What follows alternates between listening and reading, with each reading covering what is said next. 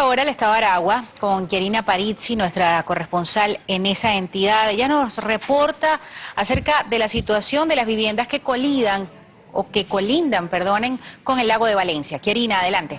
Sí, muy buenas tardes y gracias por este contacto. El día de hoy, habitantes de Brisas del Lago, esto al sur de Maracay, realizaron una serie de peticiones a las autoridades. Esto debido a la situación que presenta ante la crecida del lago. Veamos ya nosotros estamos cansados de aquí que eso sea, ya nosotros estamos un día, nos quedarán los techos de las matas para vivir como los monos, como las iguanas, ¿ah? que esto es lo que estará él buscando para hacer casa en, los techos de, los árboles. No, eso no puede ser. ¿Ah?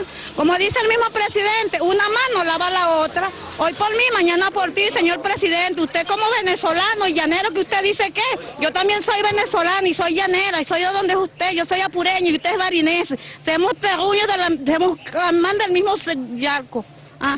Usted sabe cómo es la vida del pobre, usted viene de abajo y nosotros tenemos la confianza en usted emergencia, no aguantamos, no hay tiempo para censar, no hay tiempo para tomar fotos, hay tiempo para, el tiempo que tenemos es para que nos indemnicen o nos busquen una solución habitacional de respuesta inmediata.